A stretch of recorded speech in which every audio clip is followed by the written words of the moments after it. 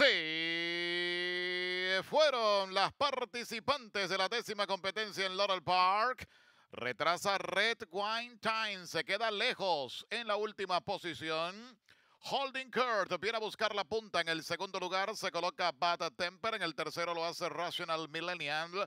Hacia el cuarto lugar avanza Torre Branca. En el quinto puesto, Camelia Roth. Penúltima está Martarita. Y desde el fondo trata de recuperarse Red Wine Time, que ocupa la última posición. 24-2. Es el parcial de los primeros 400 metros. Holding Court está en punta. Tiene tres cuerpos de ventaja sobre Bad Temper.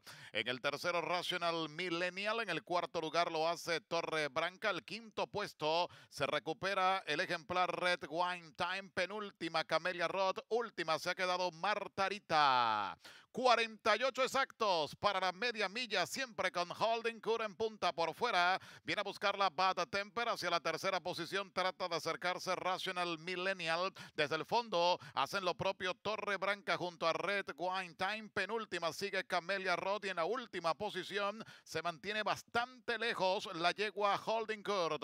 Recta final, Holding Court, perdón, es la que está en punta por fuera, insiste Bad Temper hacia el tercer lugar está Rational Millennial por la parte exterior de la pista. Bad Temper en punta en 1.13 para los 6 Fairlands. Back Temper toma cabeza de ventaja, insiste por dentro Holding Court, la número 5, cabeza a cabeza, regresó a Holding Court, saca medio cuerpo, uno de ventaja, Holding Court en punta, la número 5 ganó, Holding Court, el número 5. El segundo es para Bad Temper. En el tercero, Rational Millennial. Cuarta, Red Wine Time.